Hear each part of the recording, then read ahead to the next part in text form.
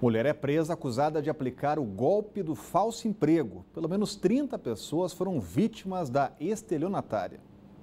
Segundo as investigações, a Janaíra Rodrigues, de 22 anos, sempre se apresentava como sendo uma pessoa religiosa, vinculada a uma famosa rede de escolas de Brasília. Ela dizia ser consultora de recursos humanos e oferecia às vítimas propostas de emprego no Brasil ou no exterior com salários de até 15 mil reais. Para dar maior credibilidade à farsa, a Janaíra usava até um uniforme do colégio.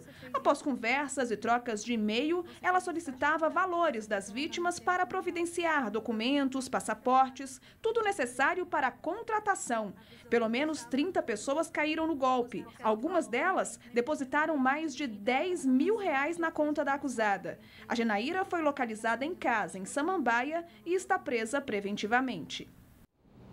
Uma quadrilha especializada em furto de celulares foi presa na rodoviária interestadual.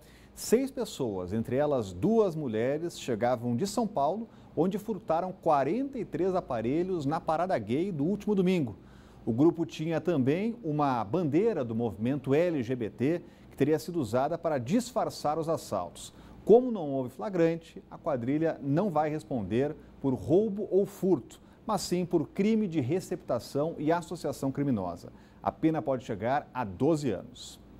O Congresso pode começar rapidamente a discutir o combate e a punição aos boatos de internet, as chamadas fake news. O assunto para a gente voltar a conversar com o Sérgio Amaral, já está com a gente por aqui. Por que isso, hein, Sérgio? Olha, Rodrigo, muitas vezes a pauta do Congresso vem de fora, né? Vem das ruas. E é o que está acontecendo nesse momento. Os políticos ficaram apavorados com a divulgação de muitas notícias falsas, as tais fake news pela internet, agora durante a recente greve dos caminhoneiros. Isso, isso aconteceu na greve, eles começaram a raciocinar, né, Rodrigo? Se isso aconteceu na greve, imagine só o que pode acontecer durante as eleições, quando estão em jogo tantos interesses e muitas vezes interesses contraditórios, interesses contrários. Né? E aí, finalmente, caiu a ficha deles. Né? O assunto até já é antigo, a preocupação é antiga na Justiça Eleitoral, o Tribunal Superior Eleitoral tem um comitê tratando disso já desde o começo do ano, na verdade, desde o ano passado, né? Mas o Congresso agora entra nessa onda também, Rodrigo. Na verdade, já existem protocolados na Câmara dos Deputados e no Senado Federal 27 projetos tratando do tema. Mas fora os deputados e senadores que apresentaram esses projetos, ó, ninguém deu muita bola para esse assunto, não. Por isso, agora, o chamado Comitê de Comunicação Social do Congresso Nacional pegou todos esses projetos, condensou tudo num relatório único e levou, apresentou esse relatório aos líderes dos partidos, tanto na Câmara como no Senado. E, em princípio, esses líderes parecem dispostos a levar o tema à votação, a levar a, a criminalização da divulgação de notícias falsas na internet para a votação. Mas fica a pergunta, né, Rodrigo? Faltando 10 dias para começar a Copa do Mundo e logo depois da Copa, começando para valer a campanha eleitoral, o Congresso vai ter espaço para votar alguma coisa? Não sei você e o Cláudio Humberto, mas eu tenho um palpite. Como se diz lá no interior de Minas, Duvideodó. Acho que a gente assina embaixo, né, Cláudio? É, pois é, muito difícil, né? Tem sido muito difícil este ano. Aliás, a gente já disse aqui que este será o ano ah, das últimas décadas, inclusive, por uma série de coincidências, que os parlamentares menos vão trabalhar. É, eles, eles têm muito o que fazer e também é, têm muito o que pedir né, aos eleitores em termos de votos. Tivemos várias dificuldades de prazos, etc., janela partidária, uma série de coisas que atrapalharam é, votações. Agora temos a Copa aí, vai começar já na semana que vem. É, tem eh, campanha eleitoral, ou tem agora festas juninas também. Enfim, o fato é que os políticos vão ficar, é, terão muitas dificuldades em aprovar coisa que preste é, nesse período agora, pelo menos até a eleição, né?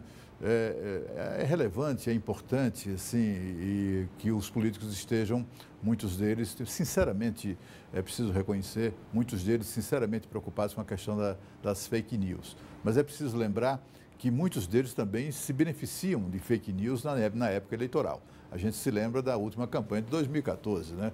O que não faltou foi político mentindo na, na, na televisão o tempo todo e também espalhando notícias mentirosas nas redes sociais. Isso deve se agravar.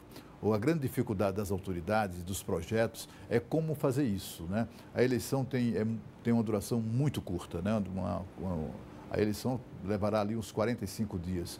O problema não é só é, identificar e punir os autores da fake news, é evitar os seus efeitos, né?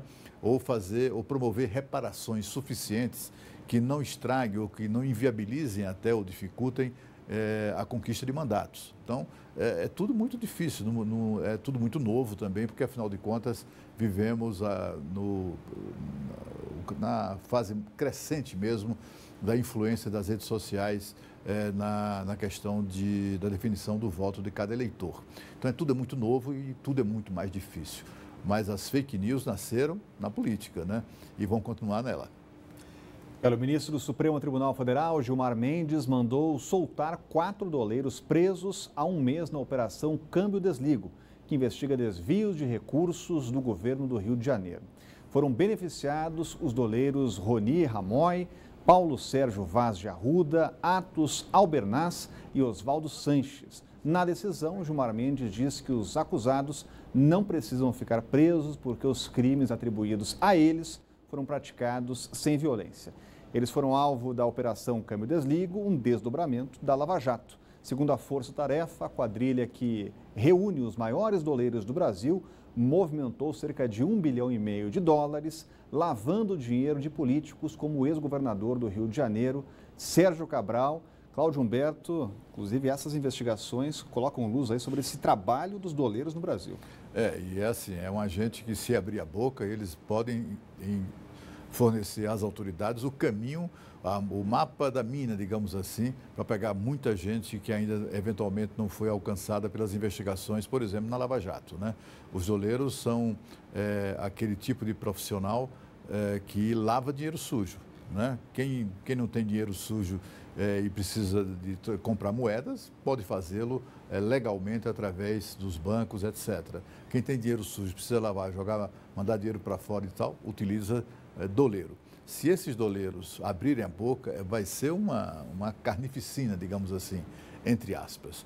É, essa decisão do ministro Gilmar Mendes é sempre, as decisões dele são sempre polêmicas, porque dá aquela sensação de impunidade. Mas o princípio que ele advoga, que é o princípio de que não é necessário manter presas as pessoas que não cometeram crimes com violência, é o princípio adotado pelo chamado direito penal mínimo, que prevalece no Brasil. Aliás, as audiências de custódia são a expressão mais recente dessa, desse direito penal mínimo. Hoje em dia, as pessoas que são presas, o, a, o delegado de polícia, a polícia tem a obrigação de, no prazo máximo de 24 horas, levá-lo a um juiz, que, em geral, solta o cara, né? ainda que tenha sido preso em flagrante. Se o, se o delito cometido, se o crime cometido não foi com violência, ele é liberado imediatamente. E há liberações também, libertações de presos, inclusive, que cometeram crime violento.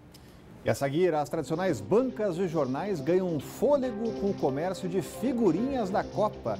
Mas a situação financeira desse tipo de comércio é cada vez mais insustentável. O Bantidade volta já.